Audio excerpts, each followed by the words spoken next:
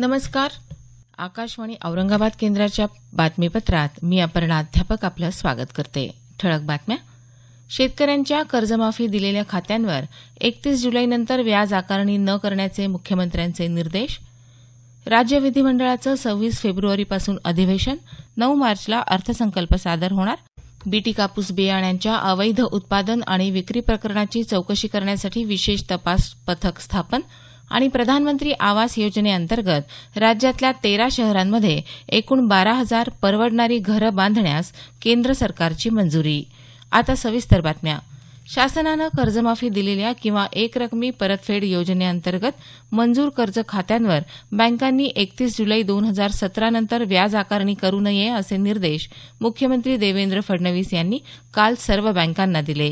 कर्जमाफी योजनेचा मुख्यमंत्र्यांनी काल आढावा घेतला. राज्यस्तरीय बँकर्स समितीच्या बैठकीत हा निर्णय झाला आहे. जुलै दोन हजार सतरानंतर कर्ज खात्यांवर व्याज आकारणी करणाऱ्या बँकांवर कारवाई करण्यात येईल असा इशारा मुख्यमंत्र्यांनी यावेळी दिला. महाराष्ट्र विधिमंडळाचं अर्थसंकल्पीय अधिवेशन येत्या सव्वीस फेब्रुवारीपासून सुरू होणार असून ते अठ्ठावीस मार्चपर्यंत चालणार आहे. नऊ मार्च रोजी विधिमंडळाच्या दोनही सभागृहात अर्थसंकल्प सादर करण्यात येईल. संसदीय कामकाज सल्लागार समितीच्या बैठकीत काल हा निर्णय घेण्यात आला. विधान परिषदेचे सभापती रामराजे नाईक निंबाळकर विधानसभा अध्यक्ष हरिभाऊ बागडे मुख्यमंत्री देवेंद्र फडणवीस यांच्या उपस्थितीत ही बैठक झाली. एकूण पस्तीस दिवसांचं हे अधिवेशन असणार असून बावीस दिवस कामकाज चालणार आहे.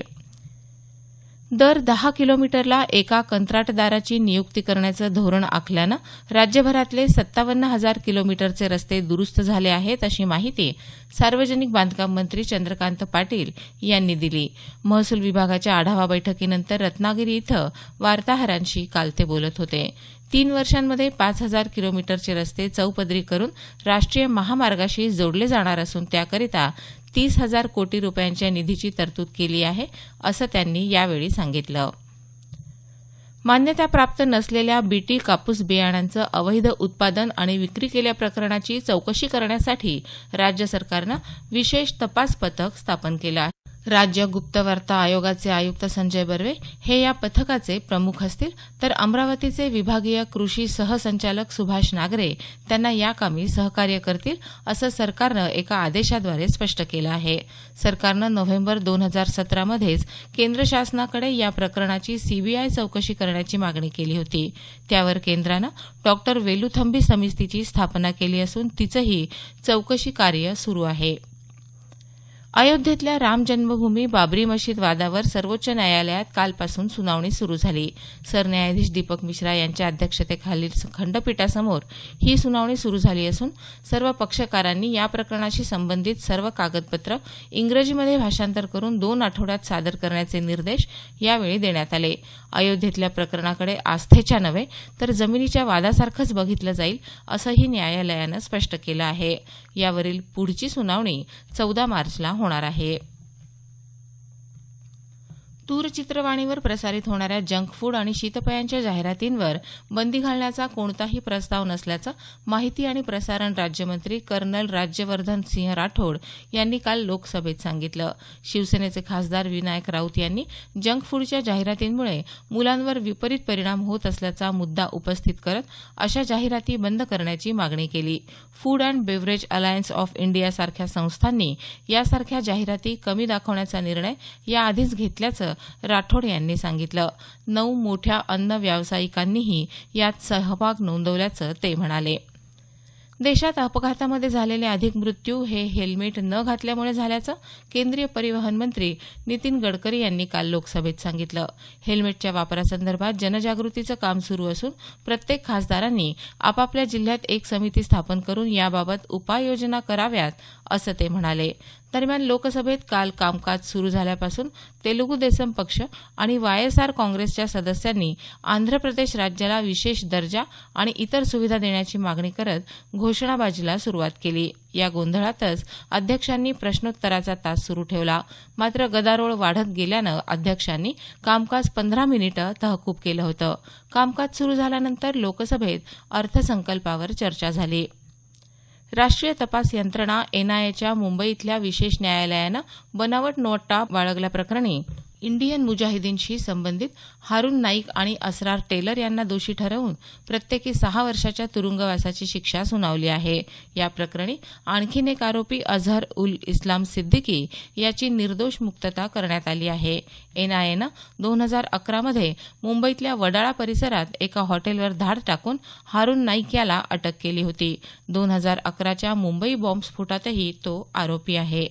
हे बातमीपत्र आकाशवाणीच्या औरंगाबाद केंद्रावरून प्रसारित केलं जात आहे. आमचं हे बातमीपत्र news on AIR dot com या संकेतस्थळावरही उपलब्ध आहे. प्रधानमंत्री आवास योजनेअंतर्गत राज्यातल्या तेरा शहरांमध्ये एकूण बारा हजार एकशे तेवीस परवडणारी घरं बांधण्यास केंद्रानं मंजुरी दिली आहे.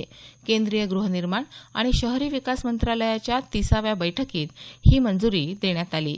या मंजुरीनुसार राज्यात एकूण बारा हजार एकशे तेवीस परवडणारी घरं बांधण्यासाठी केंद्र शासनाकडून आठशे अडुसष्ट कोटी रुपयांच्या गुंतवणुकीसह एकशे ब्याऐंशी कोटी रुपयांचं आर्थिक सहाय्य देण्यात येणार आहे. औरंगाबाद इथल्या शासकीय वैद्यकीय महाविद्यालय आणि राज्य कर्करोग रुग्णालय इथं रुग्णांसाठी संपूर्ण भारतीय बनावटीचं आणि किरणोपचाराचं भाभाट्रॉन दोन हे यंत्र बसवण्यात आलं आहे. या यंत्राचं उद्घाटन आणि एकशे पासष्ट खाटांच्या इमारतींचं भूमिपूजन येत्या रविवारी अकरा फेब्रुवारीला केंद्रीय आरोग्य आणि कुटुंब कल्याण मंत्री जे पी नड्डा यांच्या हस्ते होणार आहे. घाटीच्या अधिष्ठाता डॉक्टर कानन येळीकर यांनी काल ही माहिती दिली. कर्करोग रुग्णांची वाढती संख्या लक्षात घेता या रुग्णालयात कर्करोगासंबंधी संशोधनही करण्यात येणार असल्याचं त्यांनी सांगितलं. चिकलठाणा इथल्या नवीन जिल्हा रुग्णालयाचं उद्घाटन येत्या तीन महिन्यात होणार असल्याचं आश्वासन आमदार अतुल सावे यांनी यावेळी दिलं.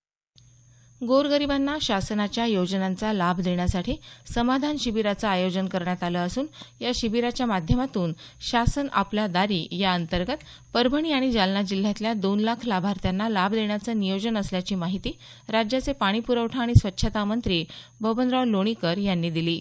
समाधान शिबिराच्या आयोजनाच्या आढावा बैठकीत परभणी इथं काल ते बोलत होते. ओएलएक्स या ऑनलाईन संकेतस्थळावर इतरांच्या नावे बनावट खातं तयार करून फसवणूक करणाऱ्या राजस्थानातल्या दोन संशयितांना जालना स्थानिक गुन्हे शाखेनं काल अटक केली आहे. संशयितांनी कमी दरात आयफोन विक्रीचा आमिष दाखवून अनेकांची फसवणूक केल्याचं तपासात समोर आलं आहे. पोलिसांनी त्यांच्याकडून गुन्ह्यात वापरलेल्या मोबाईलसह दहा सिम कार्ड जप्त केले आहेत. राज्यमार्ग परिवहन महामंडळानं औरंगाबादच्या मध्यवर्ती बस स्थानकातून औरंगाबाद ते नागपूर शिवशाही बस सेवा सुरू केली आहे. औरंगाबादहून ही बस दररोज संध्याकाळी सहा वाजता निघेल आणि नागपूरला दुसऱ्या दिवशी सकाळी पाच वाजता पोहोचेल. परतीच्या प्रवासात ही बस नागपूरहून सकाळी साडेसात वाजता निघेल आणि औरंगाबादला संध्याकाळी साडेसहा वाजता पोहोचेल. लातूर इथं बँक ऑफ महाराष्ट्राच्या स्थापना दिनानिमित्त स्वच्छता पंधरवड्याचं आयोजन करण्यात आलं आहे.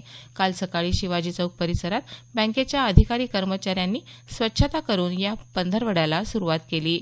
या अभियानात बँकेच्या शाखा आणि परिसर स्वच्छ केला जाणार आहे. शेवटी पुन्हा काही ठळक बातम्या. शेतकऱ्यांच्या कर्जमाफी दिलेल्या खात्यांवर एकतीस जुलैनंतर व्याज आकारणी न करण्याचे मुख्यमंत्र्यांचे निर्देश. राज्य विधिमंडळाचं सव्वीस फेब्रुवारीपासून अधिवेशन. नऊ मार्चला अर्थसंकल्प सादर होणार. बीटी कापूस बियाण्याच्या अवैध उत्पादन आणि विक्री प्रकरणाची चौकशी करण्यासाठी विशेष तपास पथक स्थापन आणि प्रधानमंत्री आवास योजनेअंतर्गत राज्यातल्या तेरा शहरांमध्ये बारा हजार परवडणारी घरं बांधण्यास केंद्र सरकारची मंजुरी. याबरोबरच हे बातमीपत्र संपलं. आमचं यानंतरचं मराठी संक्षिप्त बातमीपत्र सकाळी अकरा वाजता.